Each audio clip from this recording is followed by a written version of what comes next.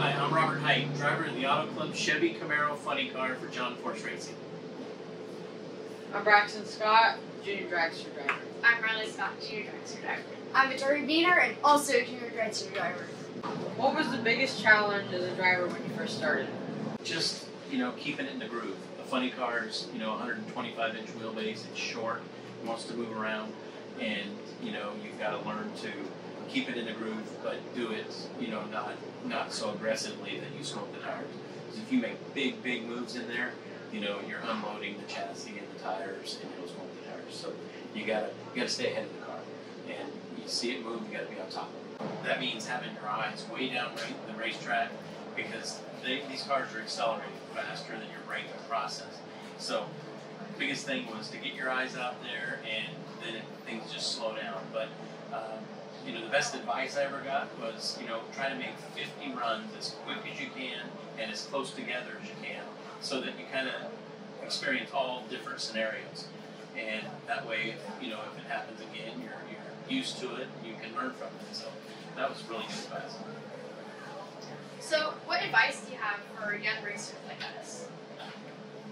You know, uh, it's it's it's really just about having fun. Okay, uh, my daughter and I raced from when she was eight years old until she aged out, and the, some of the best times we had together was um, not even at the racetrack. It was traveling up and down the road and getting to the places and talking and just you know a lot of father-daughter time. It's really cool, but um, you know you meet a lot of nice friends Yeah. and you know, my daughter, her still, some of her best friends come from juniors, not from school.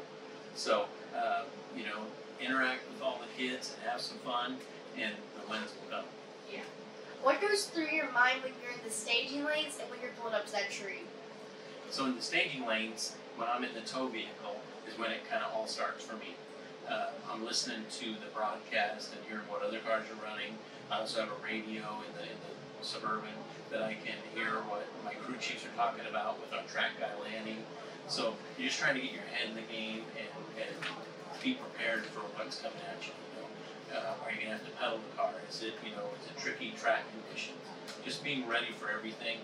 Um, you know once the car starts, it's it's not hard for me to focus because you know this thing is twelve thousand plus horsepower and uh, it's a it's a real machine. So doing the same thing over and over and having a routine to where you're consistent, and uh, that's what drag racing is all about. As you guys know, in juniors, consistency. Yep. Uh, the car has to be consistent, the driver has to be consistent, and it's it's no different with what we do. So, what was your first car and tell me the history behind it? So my first car was a '66 Plymouth Belvedere that was uh, was purchased new in the family.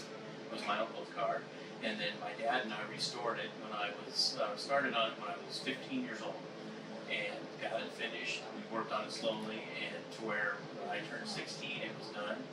But uh, I learned a lot about uh, mechanics and working on cars, and that actually that car is uh, what you know made me realize that this is what I want to do for a living. I want to be around race cars and mechanics and, and learn about this stuff.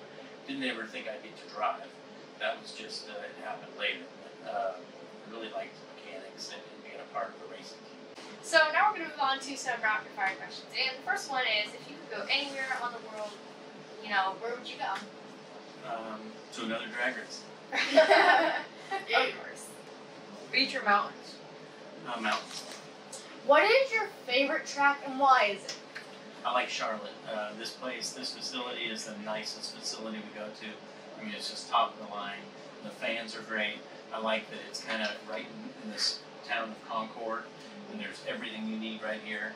Uh, it's, it's the perfect race weekend for me when I come to Concord. What's your favorite hobby outside of racing? Uh, shooting. I like to shoot trap. That's shotguns. Uh, shooting clay targets. My wife and I do that competitively. What is your favorite TV show? TV show. Um, I don't watch a lot of TV. Baseball. I like watching sporting events, uh, baseball and football, things like that. What is your favorite movie? Favorite movie, Top Gun. Mine too. What's your favorite pizza topping? Probably mushrooms. I like sausage and mushroom. Cat or dog? Dog. What is your favorite singer or band? Uh, the Eagles. Okay, I'm a big Eagles fan. I like going to, to those concerts. Uh, went earlier this year, and they have a song that fits this sport perfectly. It's uh, called Life in the Fast Lane. What was your favorite school subject? I like math. Yep, and you use a lot of math in drag racing, right? That makes sense. That's very true. Thank you, Robert Hight. That concludes our interview. Thank you. Thank you yes, guys. thank you. Thank you, and good luck junior racing. Thank you. Thank you. you.